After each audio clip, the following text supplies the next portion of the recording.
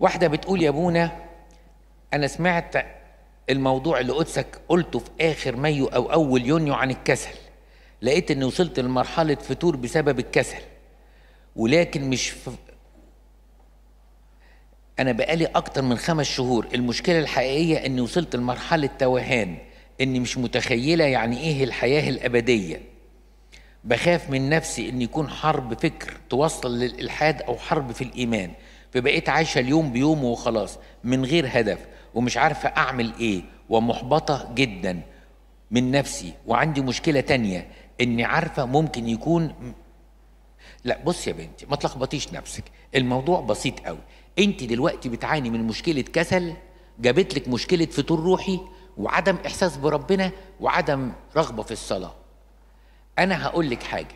لو إحنا تخيلنا إن أنا ماليش مود للمذاكرة ولا مزاج للمذاكرة وكل ما أفتح كتاب نفسي تقفل.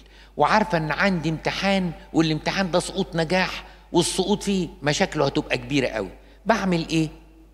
بغصب على نفسي أذاكر ولو الحد الأدنى.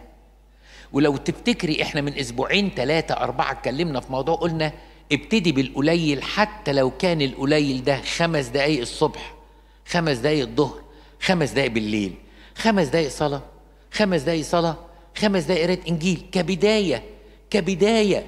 وبعدين البداية هنبني فوقيها والخمسة يبقوا سبعة والسبعة يبقوا عشرة والعشرة ربع ساعة وبعد كده يبقى في تمتع بربنا.